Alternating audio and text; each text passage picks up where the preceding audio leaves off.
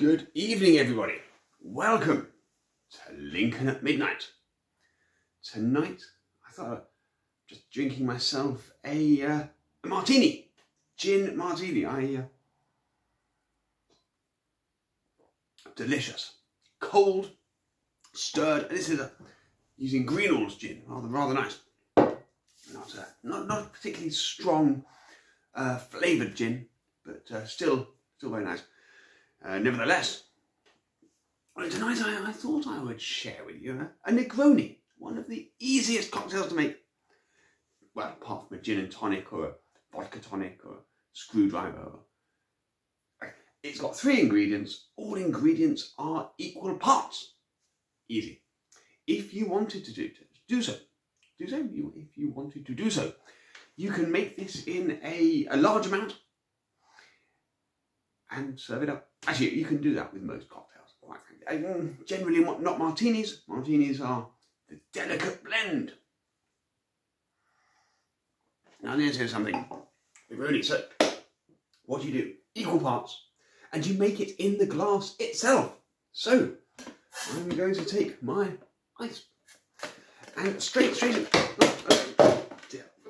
excuse me, take my tongs from my ice bucket and then put a few cheeky little ice cubes in my glass, like so.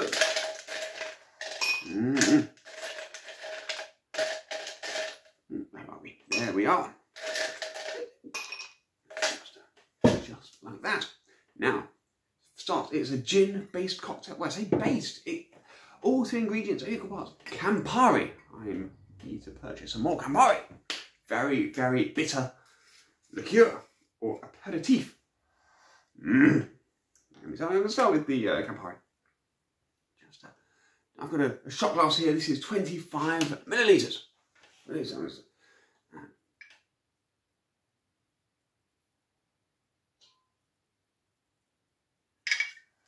Straight in the glass. Now I will add my gin. Uh, depending on the type of gin you have, it will depend on how dry your uh, Negroni is. I used a, I used a gin, a Scottish gin.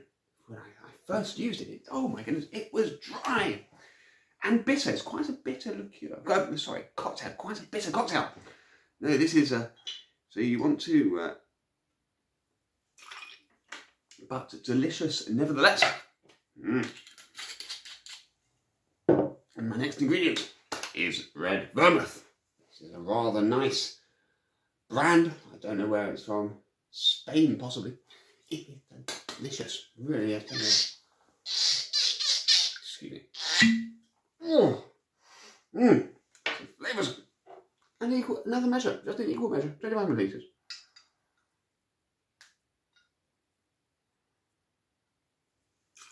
Straight in the cocktail glass.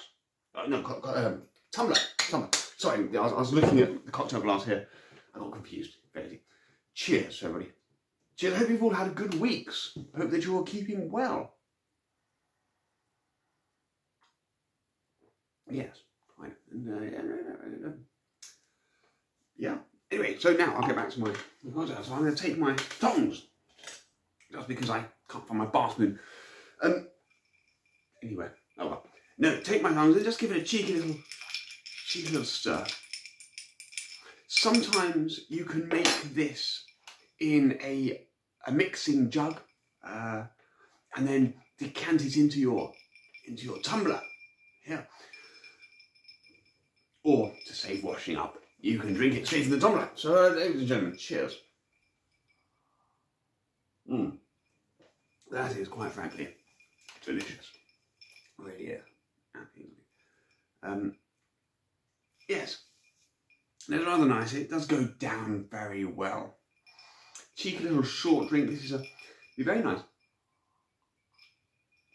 Possibly as a digestif after dinner.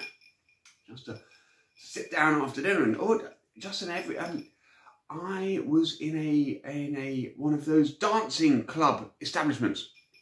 Yes, and I wanted a cheeky cocktail. I didn't want I didn't want to spill a short drink that I could uh, drink and then get on and dance. Yes, one of those at night time. It was uh, a club at night. It was one of these dancing things, dancing at night spots. No, I, I ordered a Negroni, drank it, and then got back to boogieing. Ladies and gentlemen, have a good night. Cheers. Until next time.